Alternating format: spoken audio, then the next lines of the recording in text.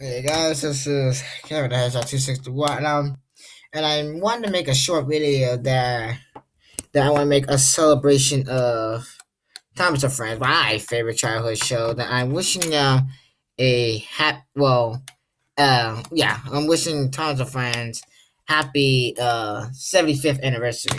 To celebrate, I got hold on. No, I, I, no, no.